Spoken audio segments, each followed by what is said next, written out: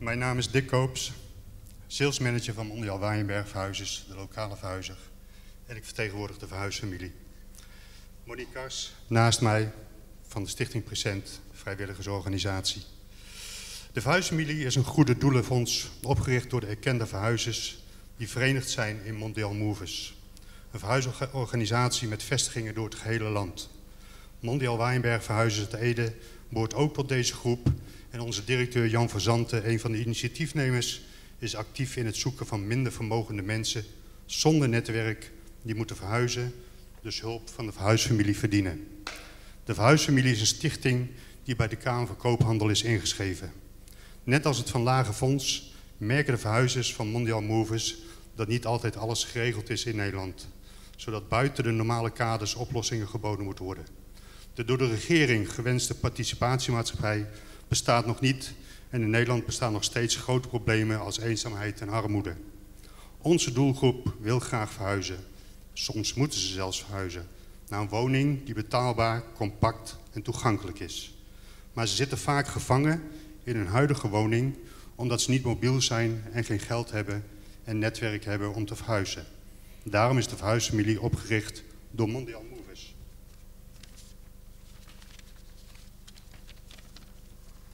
Bij elke verhuizing wordt ad hoc een verhuisfamilie gevormd bestaande uit vrijwilligers van Present, Netwerk Dinje Stad, samen met de professionals van Mondial Movers.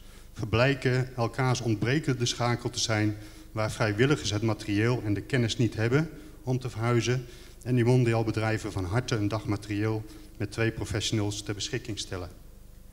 Maar de verhuisfamilie heeft de plaatselijke vrijwilligers vooral nodig om het netwerk te vormen.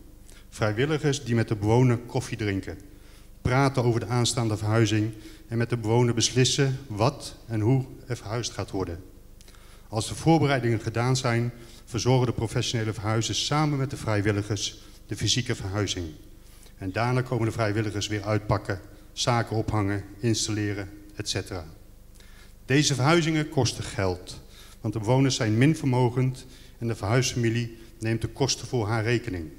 Zoals aanschaf van nieuwe gordijnen, leggen van nieuw tapijt en verf voor de muren en een fee voor de verhuizer om enige kosten te dekken.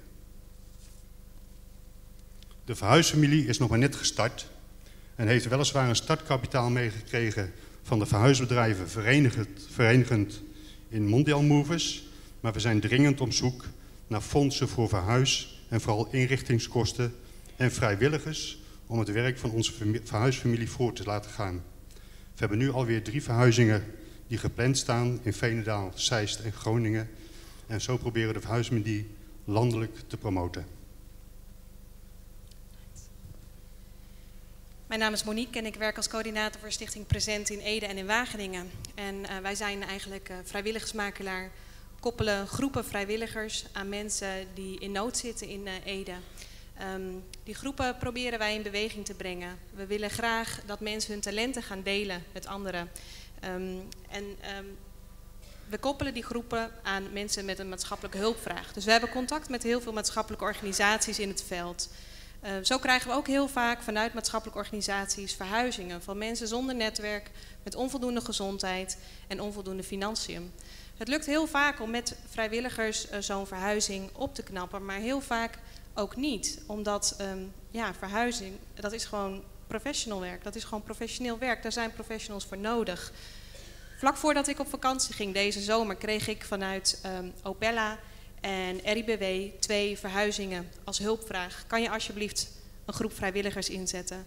Ik zag er absoluut geen mogelijkheid voor. Iedereen is druk met de zomervakantie en is weg. Precies de dag dat ik op vakantie ging, las ik op Facebook een oproepje van de verhuisfamilie. En ik dacht, dit is toch fantastisch. Bedrijfsleven dat maatschappelijk betrokken in de samenleving wil staan.